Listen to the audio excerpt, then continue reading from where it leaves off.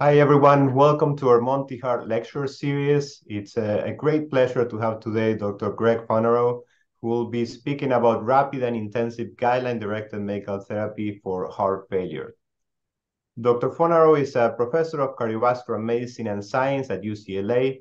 He serves as the chief of the UCLA Division of Cardiology and director of the Ahmanson UCLA Cardiomyopathy Center and co-director of the UCLA's Preventive Cardiology Program. His research interests center on acute and chronic heart failure, preventive cardiology, quality of care outcomes, and implementing treatment systems to improve clinical outcomes. Dr. Fonarow is very well published. He has over 1,400 research studies and clinical trials published each year from 2014 to 2022. Dr. Fonarow has been selected by the Clarivate uh, website for the list of highly cited researchers, which it identifies the world's most influential contemporary researchers across 21 scientific fields. So this is a big accomplishment. Dr. Fonarow has received numerous awards, including the Clinical Research Forum Distinguished Clinical Achievement Award in 2015, AHA National Chairman Award 2017, the Outstanding Lifetime Achievement Award from the AHA Quality of Care and Outcomes Research in 2019, and in 2020, Dr. Fonarow was also uh, selected to become a member of the Association of University Cardiologists, which is an organization that was founded in, in 1961 and is only limited to an active membership of 135 academic cardiologists who shaped the research and training in cardiovascular disease in the US. So it's a great honor to have you here. We know we're very lucky to have you talking about this very important topic. So thank you very much. Great. Thank you for the kind introduction and for the invitation to present on this topic. I'm very passionate about rapid and intensive guideline directed medical therapy for heart failure. Please note my disclosures. So, this slide really highlights for us how common, costly, and by natural history deadly heart failure is in the United States. 6.7 million men and women with heart failure. There'll be over a million new cases, incident heart failure this year. Mortality rates remain high 415,000 deaths expected uh, to occur in 2023, and a large number of hospitalizations, rehospitalizations, and tremendous economic costs. Now, despite the treatment advances, there are still large number of eligible patients not receiving one or more of evidence-based, guideline-recommended, truly beneficial therapies, and as a result are having events that could have been prevented with higher quality care. And as I'll show you, greater therapeutic urgency and recognition the risk these patients face, as well as the benefit of therapy, is needed, and really new approaches and system based approaches to improve care.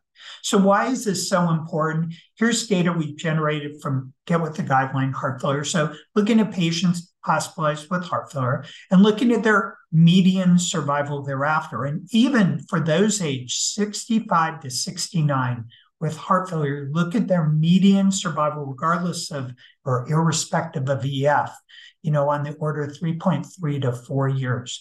Compare that to the median life expectancy of those of similar age in the US. It's a 15 year or greater loss of median survival. And even for individuals age 90 or above, it's still a four year loss of median survival concomitant with heart failure. So the mortality implications of having heart failure remain profound. And certainly we want to do what we can to improve upon this very high mortality rate. Now, fortunately, we have a number for heart failure with reduced ejection fraction patients, those with the F40% or below, a number of therapies that have been developed, tested, and randomized trials, and actually have the power to not just make patients feel better or reduce hospitalizations, but the power to reduce all cause mortality, extend median survival, give life back to these patients. And you can see from the key pivotal randomized clinical trials, the relative risk reduction mortality, you can see the numbers needed to treat and then those amounts standardized to 36 months, you know, in either single or low double digits. And that in addition to the life-saving benefits of these therapies, there are large, substantial, and additive reductions in the risk of being hospitalized or rehospitalized with heart failure. So we have a number of evidence-based tools available to us where we can improve outcome if patients are actually treated. So thinking about the time frame at which these therapies became available, you would imagine I'm now going to show you data where in the community, patients with heart failure survival has really been improved by a remarkable amount in this time frame. Well, here's some data though, looking at one, five, and 10 year mortality rates in a time period that these therapies became widely available and guideline recommended. And although, yes, the trend line shows an improvement, you can see it's really modest. And these mortality rates above 50% at five years. So, despite the availability of therapies with clearly established efficacy for reducing morbidity and mortality, the actual rates for patients with heart failure across the communities remain very high. So, how do we explain this? Does this mean our therapies really are not working in clinical practice? Well, the short answer is when we look at study after study, setting after setting, the vast majority of patients are actually not receiving the bulk of these therapies. Yes, there's use of ACE inhibitor ARB and beta blockers, but when used, often at lower doses than were studied and shown to be efficacious in randomized clinical trials. We look like therapy MRA, where we've had evidence for two decades. Only one third of eligible patients were treated here in the CHAMP-HF registry, and this is in the absence of any contraindication or intolerance documented.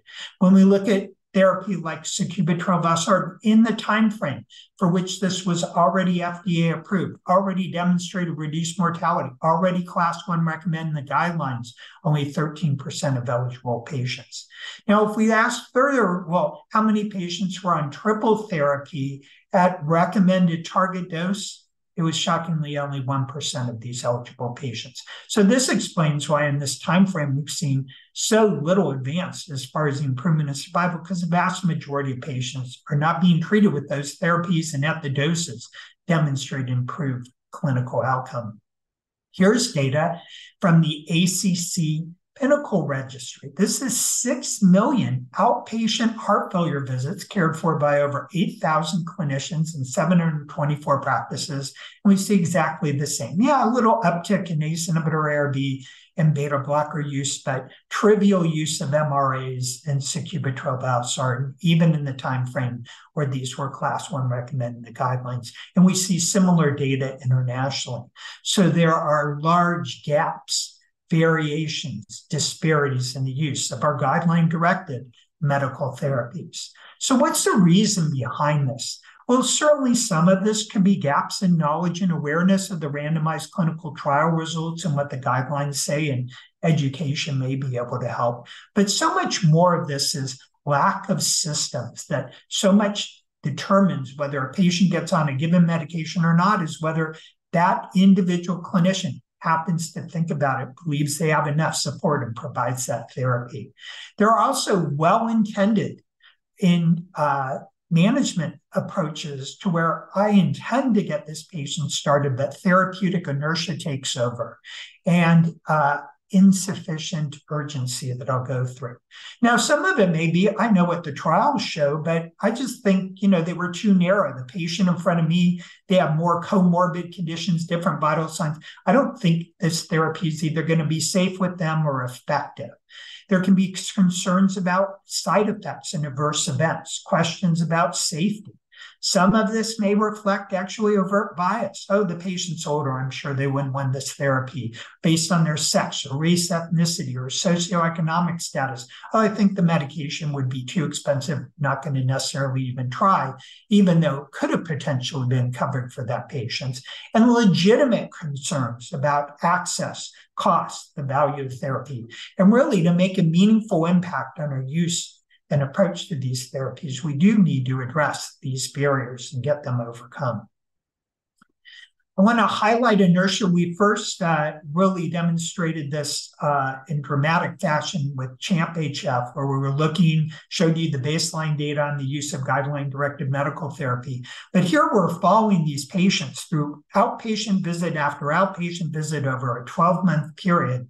And what you can see, the gaps that begin even in the absence of contraindications, even tons of room on their blood pressure, no problem with creatinine, where you see visit after visit after visit where they remain on exactly the same medications, even if there was an intervening hospitalization, even if there's worsening of their symptoms, we don't see appropriate sense of urgency or escalation of therapy. And newer therapy like SGLT2 inhibitor already indicated for diabetes. You have diabetes plus heart failure, ASCVD, only about 2% of the eligible patients being treated. So clinical inertia, therapeutic inertia takes over, and patients tend to stay on the same medication, same doses they were on without outpatient up titration initiation or uh, dose changing efforts. So, some of this, and we highlighted this in this JAMA editorial of perception of risk. And, you know, when we talk about ASCVD, we have the various risk categories, and you think about the very highest risk category in the guidelines for ASCVD and compare that to heart failure. That patient that often is viewed as outpatient that hasn't had a recent hospitalization, mild symptoms, somehow gets viewed as if they're low risk. But if we look in objective annual event rate terms, compared to the highest risk ASCVD patient, we would be in a category of extreme high risk. And if they just had a hospitalization for heart failure, very extreme high risk. So there's a misperception of risk. Oh, the patient's seemingly doing well in this outpatient visit. Don't need to rock the boat. We can defer any change in therapy or initiation because they're doing really well, stable. What's the worst that could happen? The other thing that I think this reflects and an underlying concept, even though not often spoken of, that many clinicians feel like, well, I got one or two of the evidence based therapies on board. You know, I'm getting most of the benefit. Adding that third or fourth medication, it's going to be only partially additive, maybe redundant. Are these therapies truly fully additive to each other, where that third medication, fourth medication are offering large and meaningful benefits in both relative and absolute terms, that they're fully additive or maybe even synergistic. And so I think it's important to go through and become convinced and realize and recognize that do we have the compelling evidence these therapies are fully additive to each other? What's the magnitude of benefit of the combination of foundational guideline directed medical therapy? So let's go through that pretty quickly. So back in the day where ACE inhibitors came on board, where it was thought at the time there was not a way of meaningfully improving survival in heart failure, was end stage heart disease, and at best we could palliate these patients. But ACE inhibitor trials compared to placebo added background therapy that was often loop diuretics plus or minus digoxin.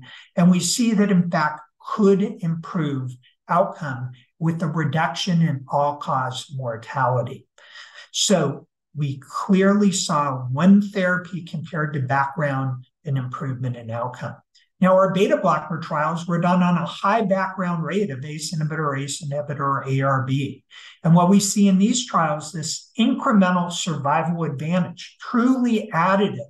And in fact, the magnitude of relative risk reduction with beta blockers greater than that seen with ACE inhibitor ARBs but truly on top of each other. So one plus one equaling two in the magnitude of benefit department from relative and absolute terms. Next class of therapy, the MRAs. Now, it's true at the time of the RALES trial demonstrating a 30% relative risk reduction mortality, was on high background rate of ACE inhibitor ARBs, relatively few beta blocker patients treated because we didn't have the outcome data yet. But when we go to the EMPHASIS-HF trial, now beta blockers proven high background rate of use and still see the incremental reduction in all cause mortality. So a cumulative benefit, incremental benefit, adding an MRA clearly improves survival, even if you're already on ACE inhibitor ARB beta blocker at well tolerated target doses.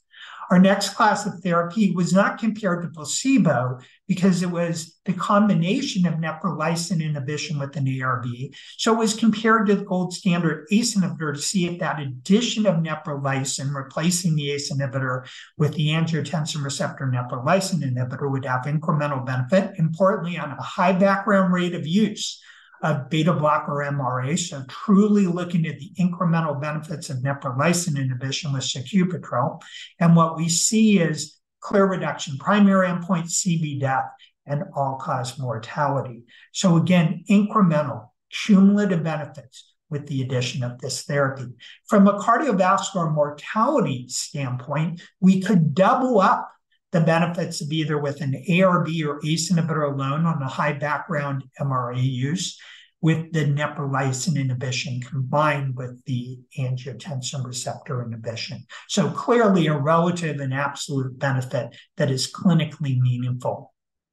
Now, importantly, across all of these trials, could we pick out a subgroup of patients where, you know what, they're better off not having the therapy added, or in this case, better off remaining on an ACE inhibitor rather than being on sacubitril valsartan. And you can see across all these clinically relevant subgroups for the primary composite endpoint for death for CBD. you could not pick out a subgroup where leaving them on an ACE inhibitor or going with an ACE inhibitor instead of the uh, angiotensin receptor neprilysin inhibitor would be a better choice for those patients. A population wide benefit for heart failure with reduced EF without significant interaction or heterogeneity.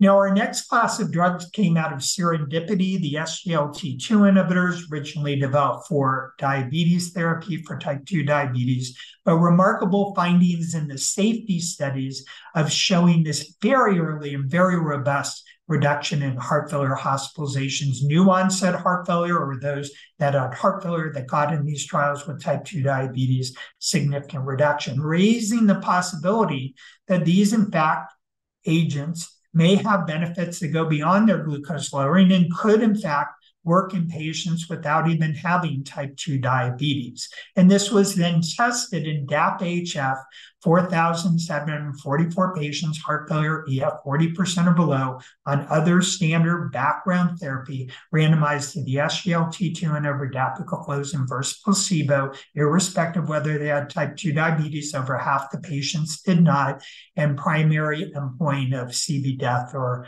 hospitalized with heart failure or urgent heart failure visit. And on a high background rate of therapy, you can see this incremental 26% relative risk reduction NNT of only 21 uh, p value highly statistically significant benefits uh, beginning early.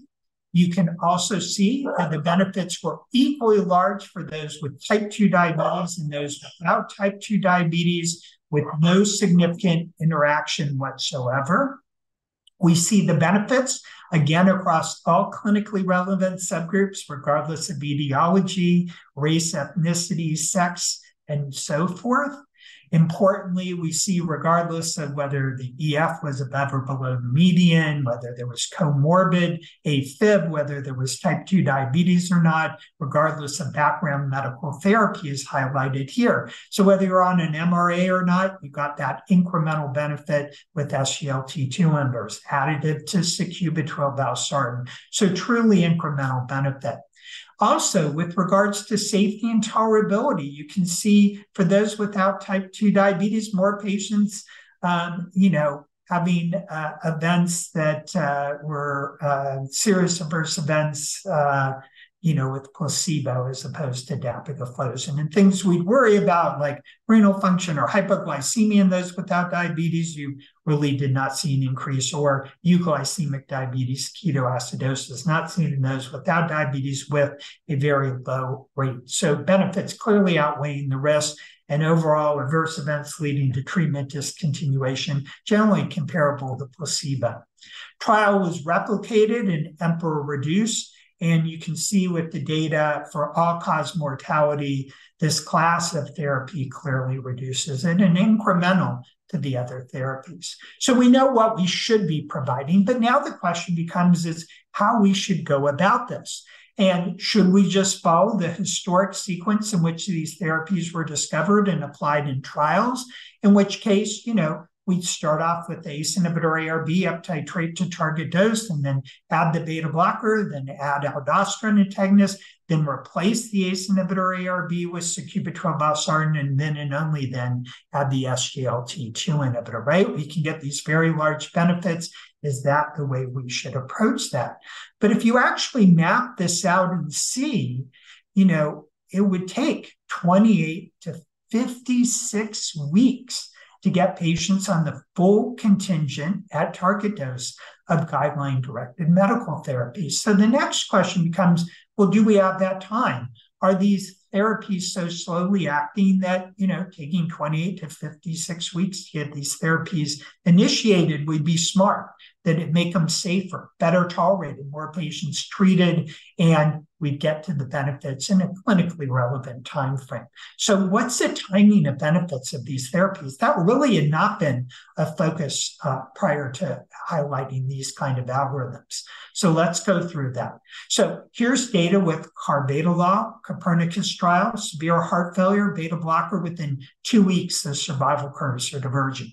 The risk of worsened heart failure with just going with Inhibitor ARB versus adding the beta blocker in this randomized trial, much more likely to have worsened heart failure over the first eight weeks if just going with your background therapy than adding the beta blocker. You could significantly reduce it. So a very early, a very large magnitude of benefit. What about MRAs? Within about 14 days, this is statistically significant. Within 30 days, highly statistically significant reduction in events on background therapy when starting MRAs.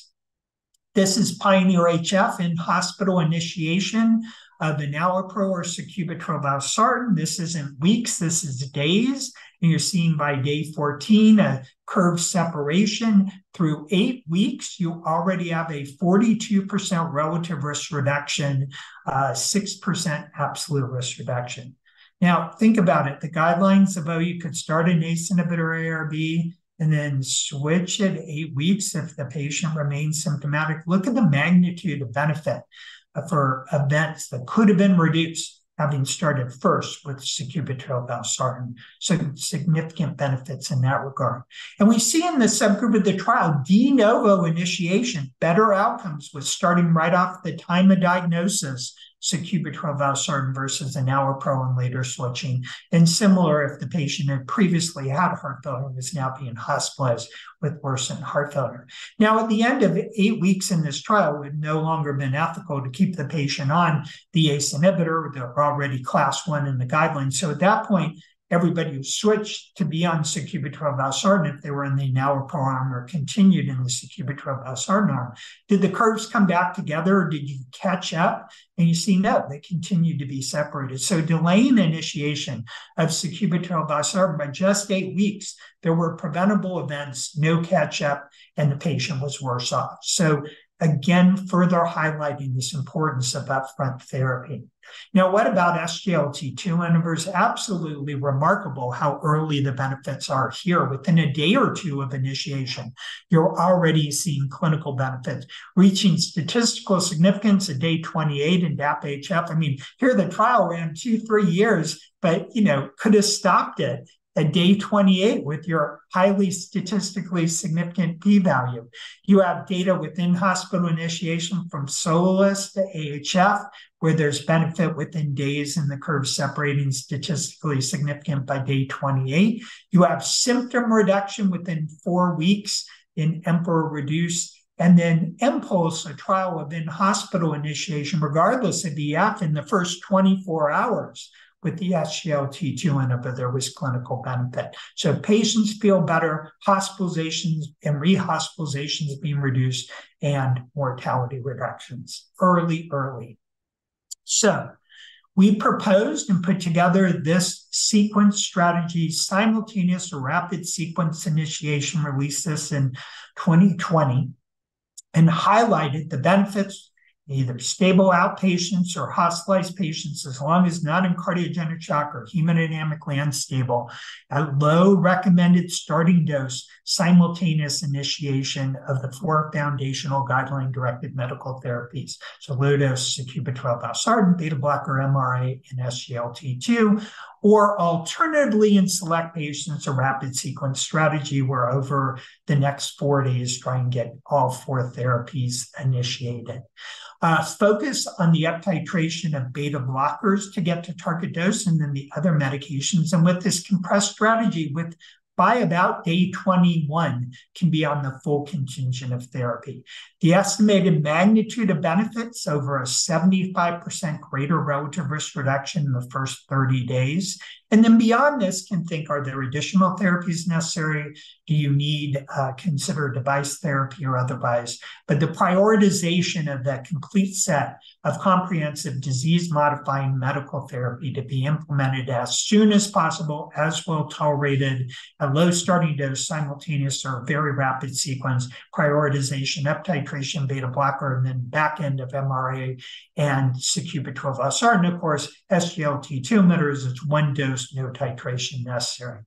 So, what are the benefits of this simultaneous or rapid sequence initiation of these agents? We highlighted here demonstration of rapid improvement in health status, rapid improvement in LVEF, such that many patients that otherwise would have gotten an ICD or CRT device will now have EFs above 35%, no longer necessary or benefit from such therapy, rapid reduction in hospitalizations, including within the first 30 days where there are the Medicare penalties and rapid reduction mortality.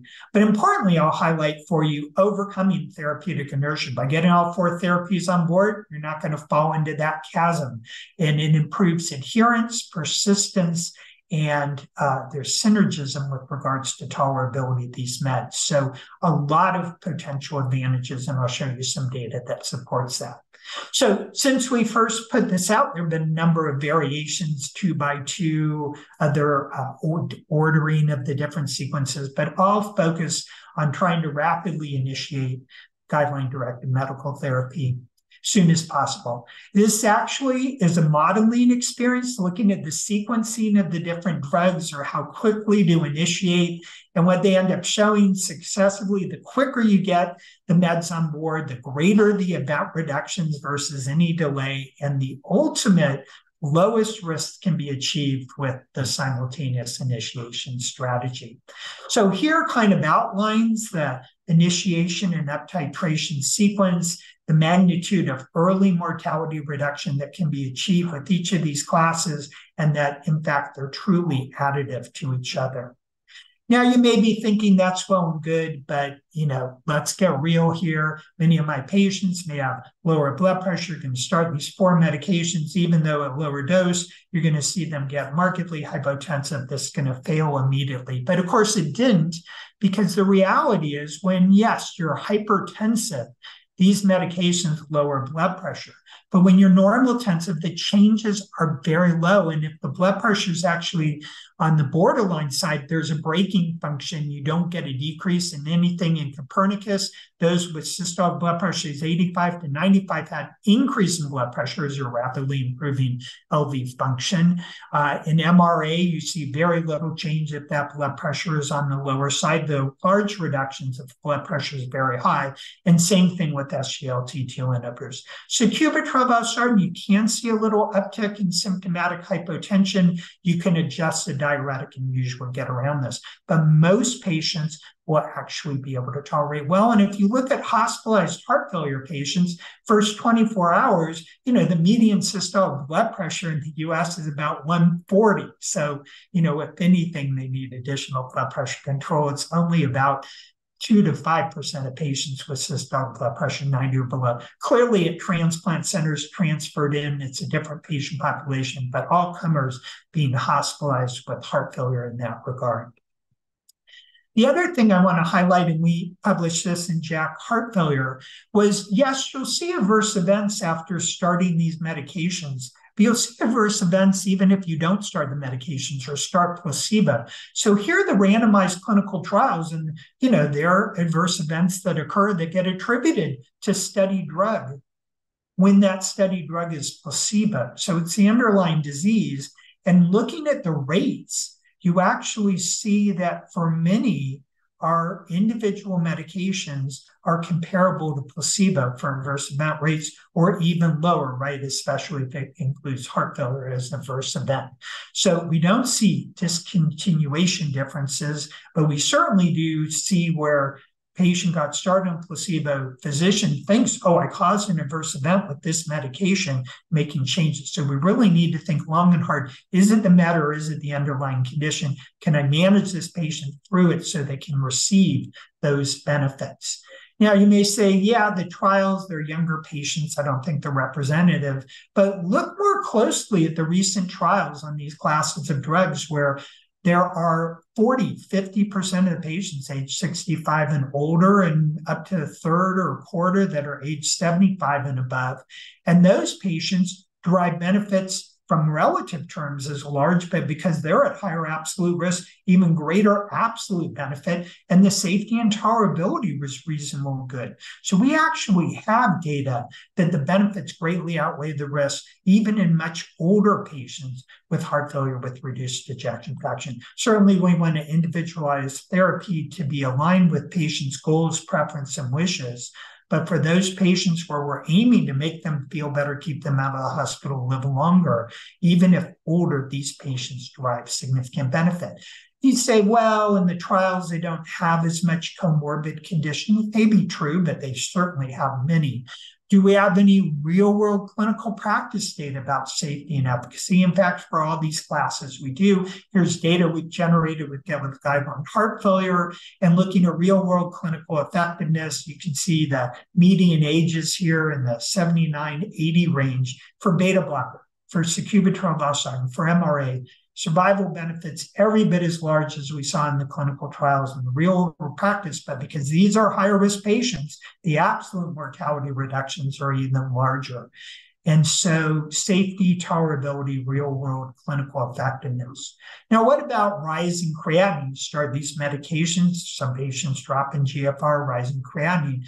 Well, you know, none of these medications are nephrotoxic. These are renally protective therapies or neutral. Now, you can see these drops in creatinine, rising GF or uh, drop in GFR and rising creatinine. And we would call that right if it goes up by 0.3 milligrams per deciliter. Acute kidney injury. Who wants to cause acute kidney injury in our patients? But in fact, if you look at the overall trajectory, these drops in GFR are expected they're well tolerated and overall end up with better renal function in the longer term.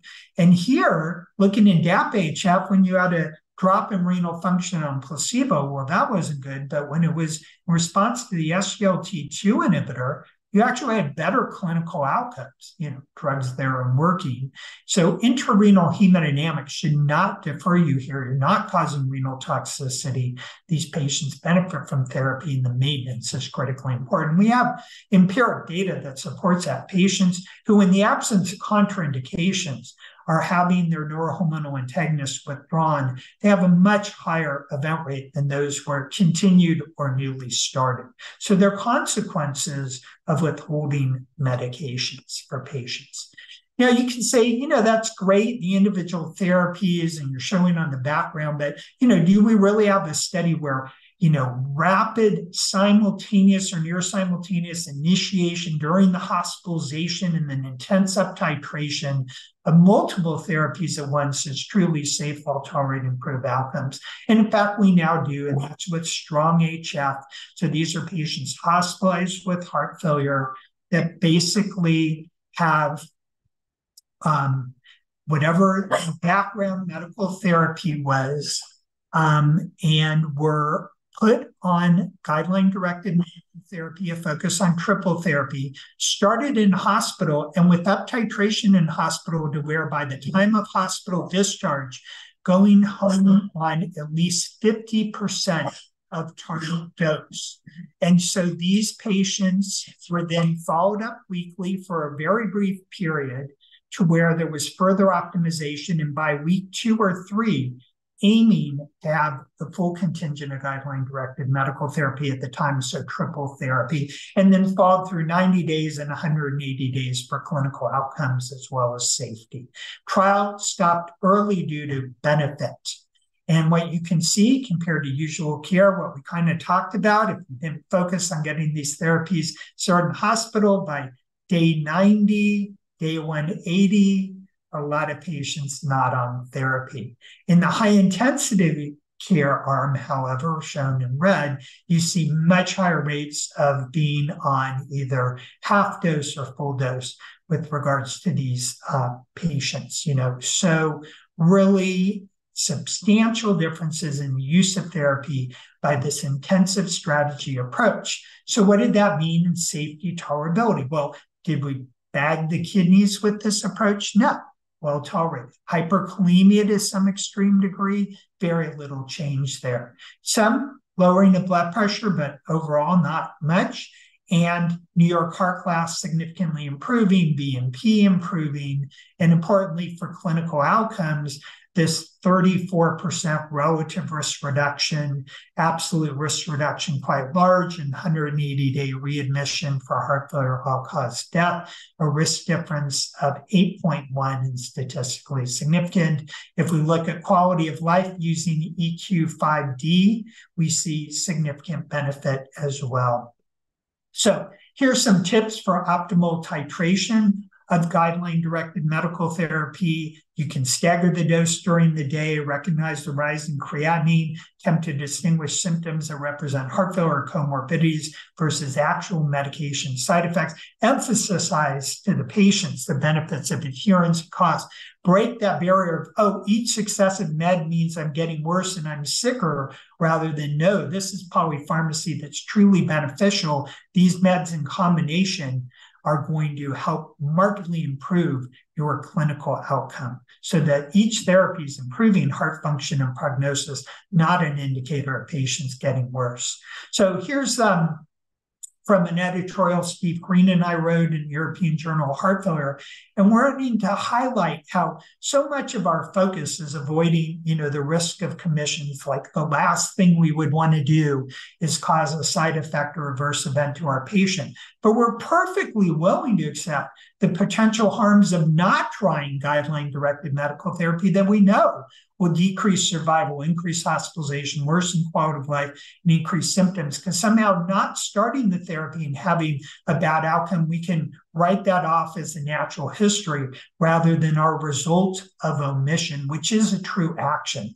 So, in every setting, there's the opportunity to overcome this clinical inertia, recognize the risks the patients face, recognize the benefits of combination therapy or up titration of such therapy, and overcome this inertia and provide benefit. And we highlighted it further in this uh, recent JACC editorial of really uh, showing what the risk of lack of initiation, titration, or persistence for each of these classes of therapy. And so, really, we need to move from this fear of you know adverse events and intolerance towards the fear of not starting one or more of these therapies and the adverse outcomes these patients face. So the magnitude of benefits here, this is highlighting, you know, the absolute and relative risk reductions in all-cause mortality for hospitalizations, you know, a 33% absolute risk reduction, 85% relative risk reduction. So they're really profound, overcoming inertia, overcoming the systems barriers, critically important. Now, if you look at the guidelines and management pathways, they have now embraced this approach of recommending all the class one recommended therapies, ESC guidelines, start and focus on the foundational therapies that reduce mortality in all patients, start them as soon as possible and as well tolerated. Class one level of evidence A. 2022, ACC/AHA, HFSA guidelines that focus on foundational therapy. The firm recommendation to start with sacubitril valsartan first, preferred over ACE inhibitor ARB, evidence-based beta blocker, MRA, SGLT2 inhibitor with an algorithm where they can be started simultaneously or in rapid sequence. The guidelines do have the recommendations for additional therapy that can be added on, but the focus on the foundational quadruple therapies. Now, to further highlight and why are we emphasizing, you know, do I really need to get these therapies started in the hospital? Why can't I wait till that first visit after discharge, start then? Well, here's data from CONNECT-HF, where the focus was after hospital discharge with intensive kind of quality improvement efforts, got volunteer hospitals, volunteer patients. And yet, when we look from the time of hospital discharge to 12 month follow up, the net median change in use and dosing of guideline directed medical therapy at the hospital level was zero. Let me say that again zero net change once that patient was discharged. And you can look at the high rates for adverse outcomes. So we really need to view hospitalization as a teachable moment, get as much of our GDMT on board, and recognize going to outpatient under usual care or even with this quality improvement program wasn't enough. We need stronger outpatient disease management programs we'll go through, but clearly more needs to be done here. So, in hospital initiation versus post discharge initiation at clinician discretion, study after study shows that for not discharged on therapy, unlikely to be treated as an outpatient and unlikely then to derive the benefit. So, in hospital initiation has a host of benefits as listed here. And unfortunately, in heart failure, go slow means rarely initiate. The guidelines of Embraces now have a class one recommendation for early initiation of GDMT during hospitalization. Other strategies for facilitating GDMT initiation talked about all four classes at time of diagnosis and hospital initiation, performance improvement programs like go with the guidelines, multidisciplinary disease management programs, navigators focused on initiation and titration of GDMT, focused clinics, telehealth, digital health tools. We're actually going to the patient directly, educating them and asking them to go to the clinician to get them activated, the EPIC-HF approach. We have data from hundreds of hospitals and tens of thousands of clinicians. You can meaningfully improve the use of these therapies with quality improvement programs. This data from PROMPT-HF, where nudging clinicians um, with the EHR can also lead to some improvements. So we really can have an important impact. For heart failure with mildly reduced preserved EF, we now have therapies there that can improve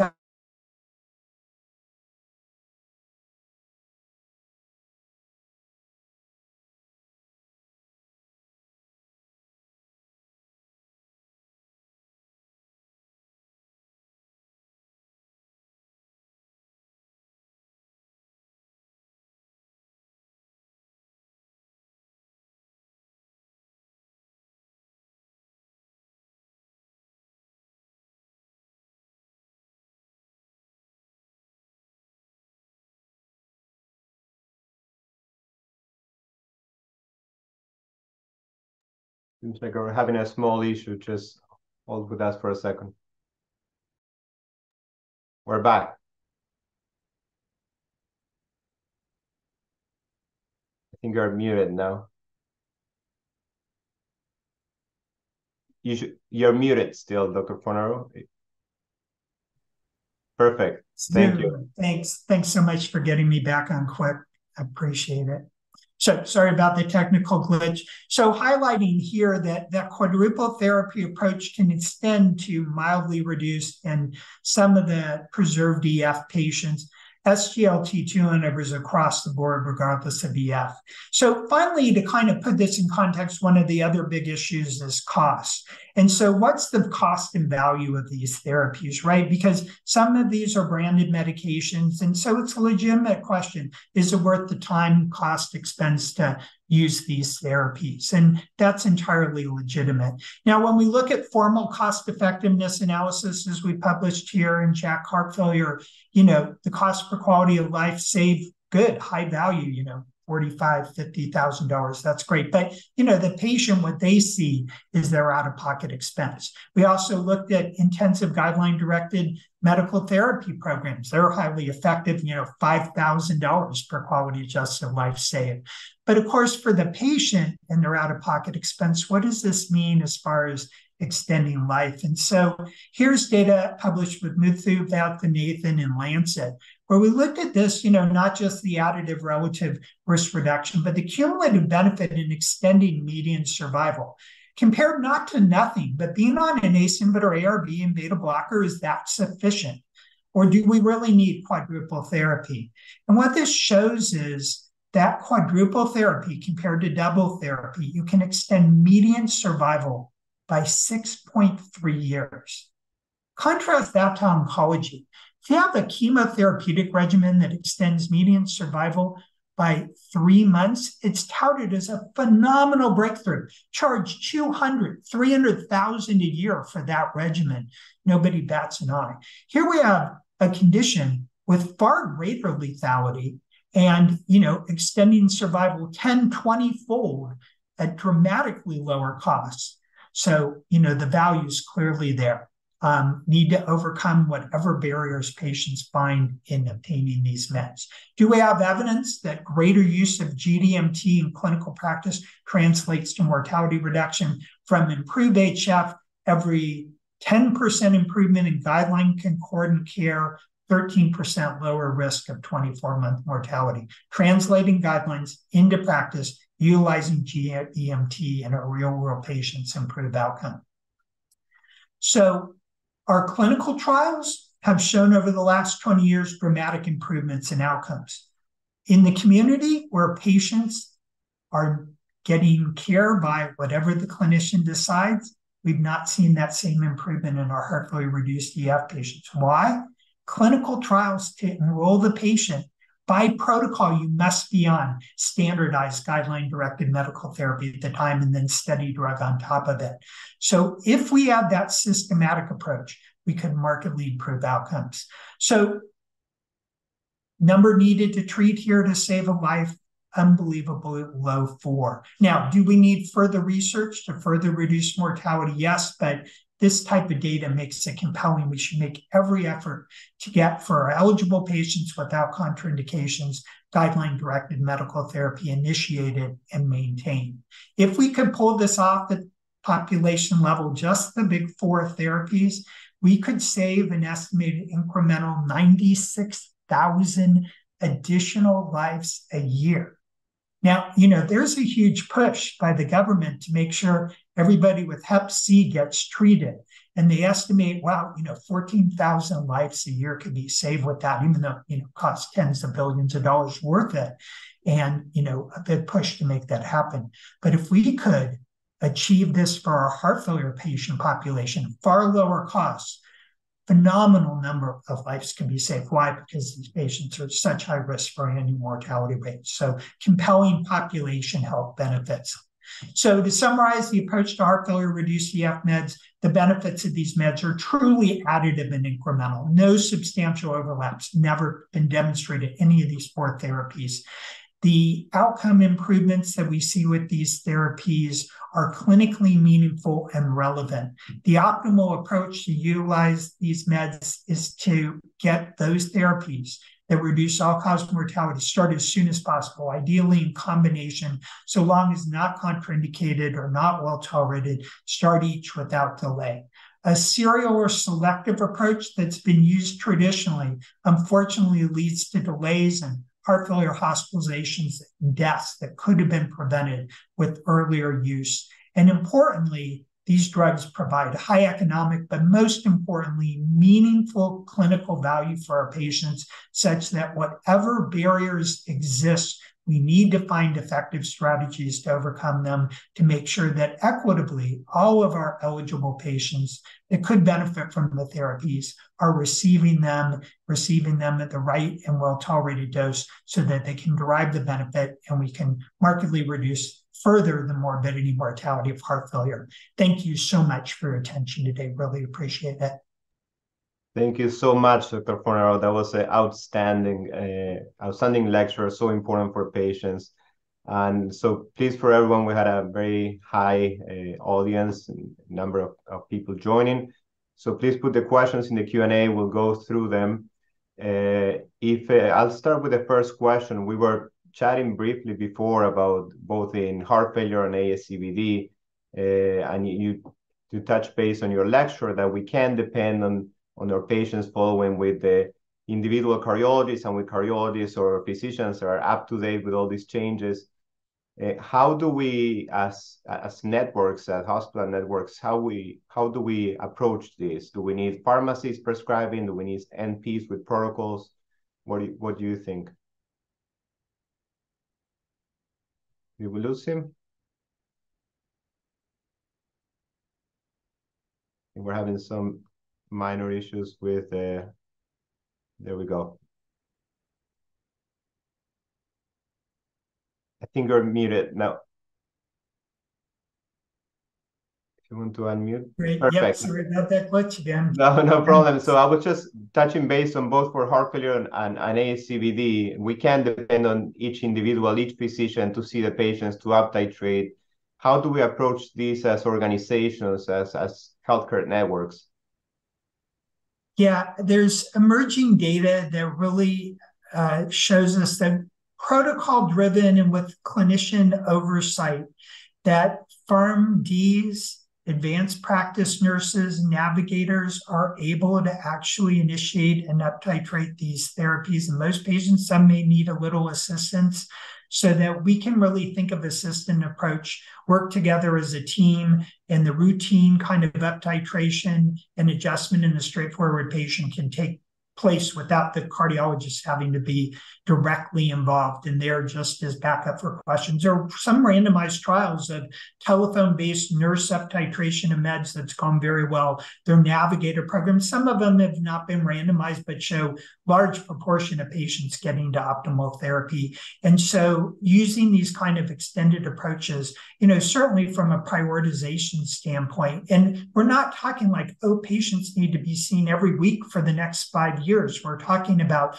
a few, you know, visits that could be telehealth or with the physician extender in that standpoint, where the majority of patients will be able to titrate. That's scalable, that's sustainable, and can be definitely done in, you know, almost every system and, and regardless of the resource environment. And and some of this we can bring directly to the patient's home with telehealth visits. And, you know, maybe we need to evaluate even patients given the algorithm and they got their own up titration and then seek out us, and you know, and some home testing and monitoring of their potassium levels and and have it almost, uh, you know, self management. I love that empowering our patients also to know about their condition and it's essential. I, I agree. So we had a question from our chief Mario Garcia. He says, I am surprised about your slide showing no change in community survival over the last two decades. Could that be partially uh, could that partially be attributed to increased age in more recent cohorts? Yeah, you know, it's a great question, right? It's really perplexing, right? in some ways depressing if you're dedicated the last 20 years to, to try and improve outcomes for heart failure. So the you know risk adjustment is taking place. There may be changes in the way you know comorbidities are documented and those other aspects. But you know, this has shown up in a number of data sets. So this is data we see in Framingham, uh, Olmsted County. When we look at patients, um, you know, in fee-for-service Medicare, you know, there have been declines going on from about, you know, the 1990s to about 2010 and then things kind of flattened out from them or even a little bit of an uptick. So it's a little perplexing on that component where we've made such gains say post mi survival and in other settings but so much of it the gaps in therapy. So you know you did see ace inhibitors beta blockers kind of get on board to a certain degree but then sort of stall out and some of the mras you know in europe you have seen some improvements over time, but there's much higher uptake of MRAs in Europe 70, 80, 90%, whereas US has been much lower out of this fear of causing hyperkalemia um, in the monitoring and systems. So, you know, a number of data sets have shown it. We'd like to think of maybe now.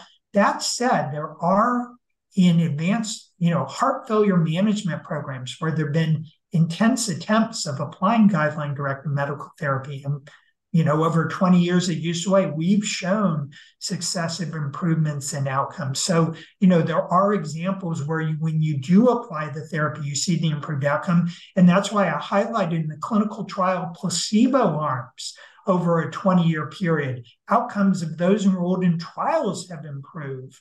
Um, you know, so again, it's highlighted. It's not like, oh, it's the underlying condition can't be changed. It's that we're not applying these therapies. But when we do, the outcomes improve the way we expect they would. We have a related question from Omar Saeed, a heart failure cardiologist with us. Great talk. How do you separate heart failure mortality in patients with severely reduced LVEF and low blood pressure from underuse of GDMT versus late recognition of advanced heart failure? Yeah, you know, this is a great question and really important, and, and don't want to at all diminish that there are certain patients where at the time they're presenting to the clinician who recognizes what's going on, they're they're advanced. And what they need, GDMT simultaneous or any which way, isn't going to solve that problem. They're low output. They need to get to the advanced therapy program. They need to be referred. Those who don't tolerate GDMT, that's a bad sign. They need to get referred. So there are certain patients where mechanical support is going to be needed, transplantation, no question. But there are also some where, you know, the blood pressure is lower, their output's lower, their SVR is high, and we could get these meds on board and actually do pretty well. And it's this paradox you have to get over. Lower blood pressure, there's a higher risk mortality, but you start these therapies and you actually see blood pressure either stay the same or go up and mortality risk goes down. So they're deriving this greater benefit, but it's this whole you know, limitation around why am I giving a blood pressure lowering medication to a patient with heart failure? His blood pressure is already on the lower side. It's hard to conceptualize that.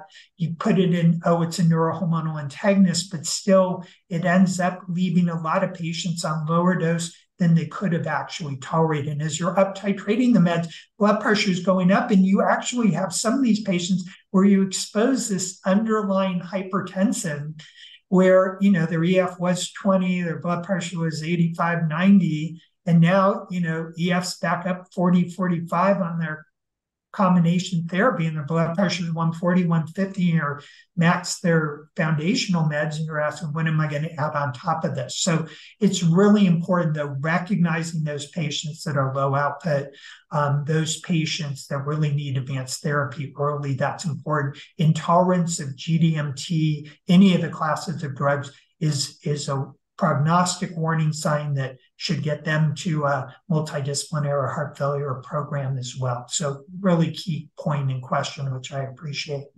Thank you very much. We have a one, I think, common uh, theme between some questions. So we see a patient in the clinic, uh, and some of our patients we know may have low health literacy or maybe concerned about starting all these medications together, or they may have to wait for three to six months for, for the next appointment in certain systems.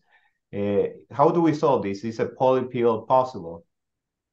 Yeah, so you know, for some of the patients, we'll we'll give them the prescription for all of the meds, but then start them in a staggered fashion by the design we're laying out that, you know, for two days with this med, then two days later, tolerating well, than the second med and third, you know. So address, meeting them where they're at, addressing their concerns, coming up with a plan, using telephone follow-up, pre-order the labs that we want, get them assured. And the discussion is really about this aspect. But I'll tell you something, when you're up front, here are the four meds you're going to be on, let's get them started. Here are the benefits, here's the time course it takes away the long discussion of, you know, two months later, oh, I have another med to add.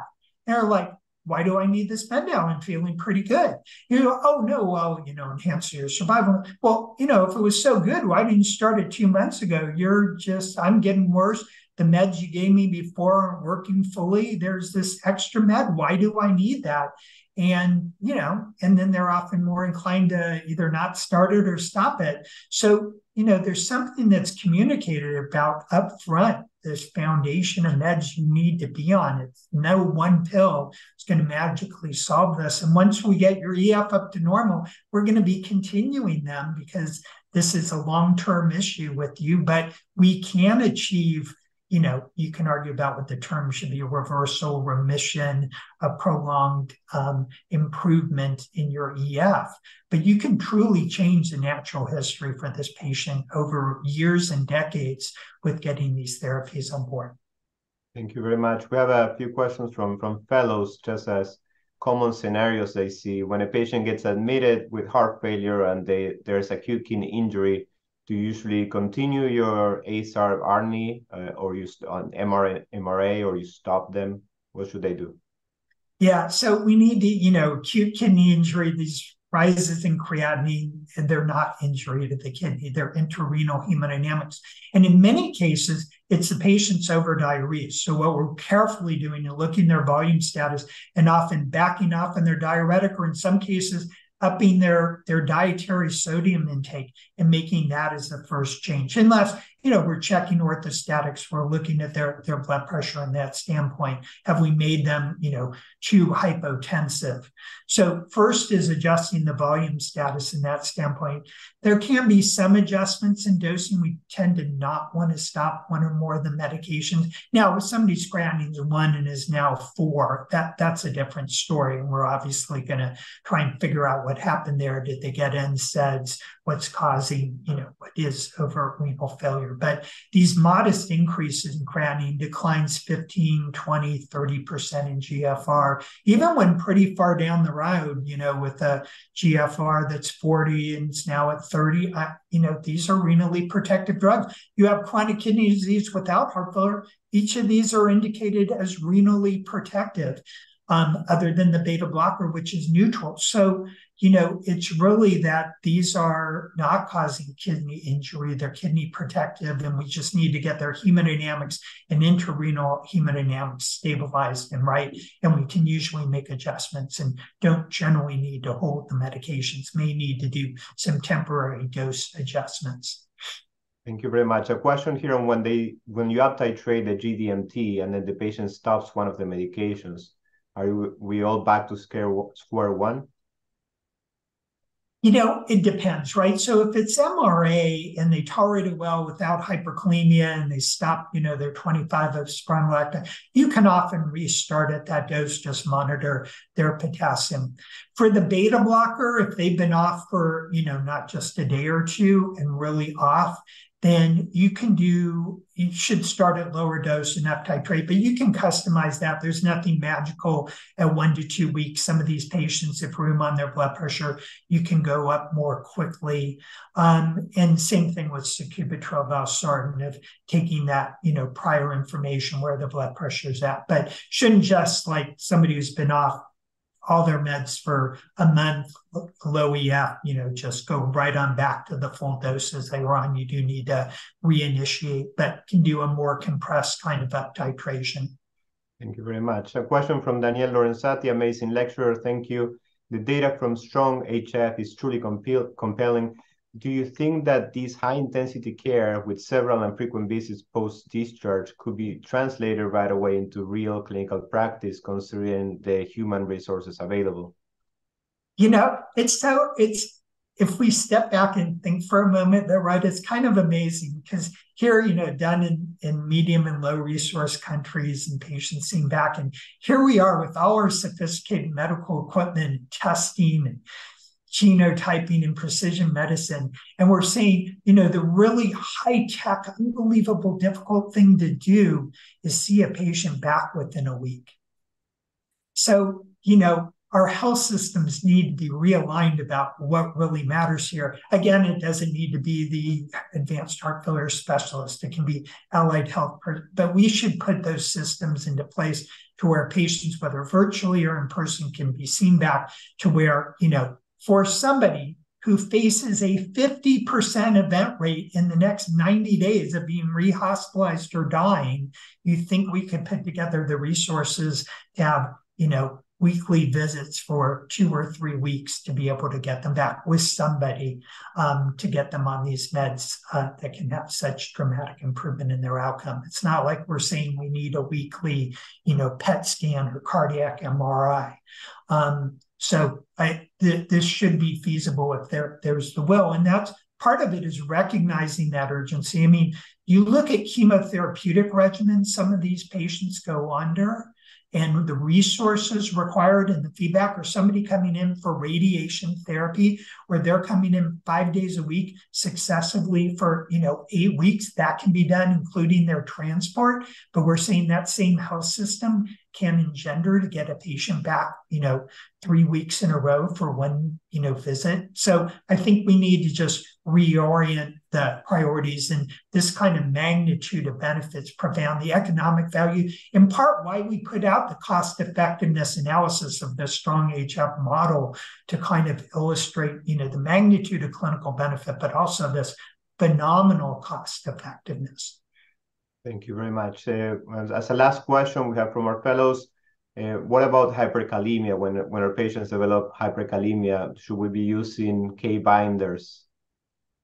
Yeah, it's a great question, and, and they are available, and, there's evidence that they can attenuate the potassium increases or allow us to treat. I think, you know, the debate to me is compared to not treating, the magnitude of benefit is so great with treatment. So somebody can't get on any dose. SGLT2 inhibitors facilitate MRA, so need to make sure there's not the potassium diet. But if you've done those things to get them on the drug um, or be able to keep them on, yes. The issue of trying to up titrate, you know, go from 12.5 to 25 of spironolactone, is that worth a potassium binder? There, you know, we don't have enough data on the dose response. There's some cost to these and challenges. They may block some of the absorption of other things as sodium load. So there's, I, I think there's some equipoise and we need some further clinical trial data. But rather than a choice of just not beyond the MRA, that is not a good a choice. I mean, the mortality benefits we're leaving on the table. So in those patients to be able to treat yeah, to at least medium dose, uh, totally worthwhile. And we do that in practice for sure. Do you, there's a, so last question. So I, I go through all the questions, otherwise people complain. So the, the, the question of Coreg versus metoprolol to allow for titration of the other medications. Any preference? Yeah, great question. So um, it's it's a little tricky. So the guidelines, you know, long-acting metoprolol or carvedilol, target dose 25 BID, carvedilol, long-acting metoprolol, succinate 200 milligrams, target dose. The blood pressure reductions, even though you think, oh, there's the alpha blockade with carvedilol early on, are less than with metoprolol. Blood pressure goes up. Why? You're vasodilating a little bit, more blood flow. So it's actually easier, and wedge falls metoprolol goes up a little bit. Easier and earlier benefit with carvedilol than metoprolol. Now, it eventually equalizes, catches up, and you could argue between which one you like. So either one, but there's not a huge advantage. Same thing in COPD. So we've just tended to favor carvedilol, but metoprolol succinate's fine, but it does not allow you to get more patients on board. What we do see, though, is when metoprolol succinate's used, people get parked on lower dose 50 or 100 and stop there. It's rare you see people up titrated to 200, whereas that was the dose in MERIT HF. The median dose was 159. So if you're parking the person on 50 or 100 versus you know 25 BID of carvedilol, you're leaving benefit on the table. And we know metoprolol tartrate you know, at 50 BID versus carvedilol 25 BID, that was, you know, 1.4 years difference in median survival in the COMET trial. So, you know, it matters getting to the target dose of beta blocker for EF improvement, hospitalization reduction, and mortality reduction. So, really important that we use one of the evidence-based beta blockers to target dose so long as well tolerated. If you don't tolerate one, switch to the other. Thank you very much. I, I, guess we can end there. That was outstanding, and I'm sure we'll use this to distribute all this knowledge to to the network and, and hopefully more hospitals as well. Thank you very much. Thank you. Take care. Bye bye.